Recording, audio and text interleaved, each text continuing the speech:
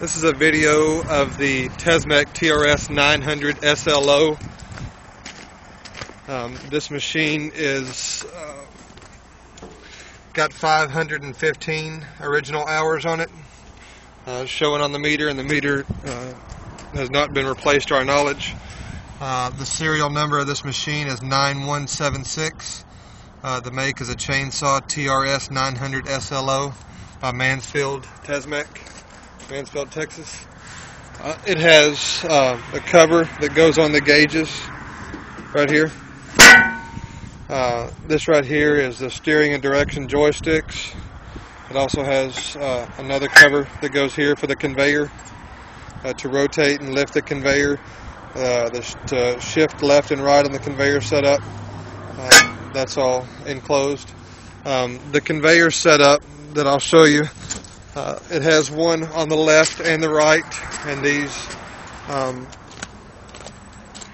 are hot. They have hydraulic motors on them, and the debris actually comes up through the middle, drops down.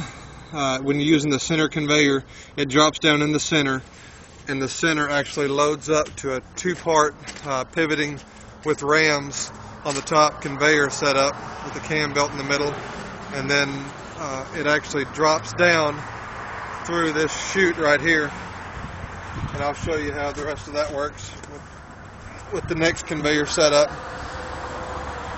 It drops down uh, from here onto this other conveyor over here that I'll show you on the other side of the machine also but it's set up on rams so you can actually spin this around to the side bring it in and this right here actually drops down the debris inside this conveyor setup to load on the side or you can load it out the back and pivot it all the way out the back uh, with these hydraulic rams right here. I'll go around the other side of the machine and show you the other side of the machine the way it's set up. This is actually the other conveyor setup I was telling you about.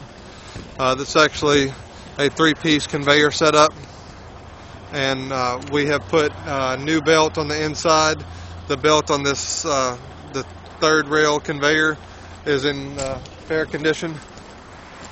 All the filters have been replaced on it. Hydraulic hoses have been gone over. Um, like I said, the belt in the middle is brand new, as you can see. And you can also see in here, the belt is brand new. Uh, it's never had uh, any material on it. Uh, but this conveyor here actually spins around. It lifts up and down and spins around using a hydraulic motor with chain and gear. Uh, and all the hydraulics and everything, we've tested it out on our yard. It works. And this uh, concludes the demonstration of the TRS 900 with equipmentq.com.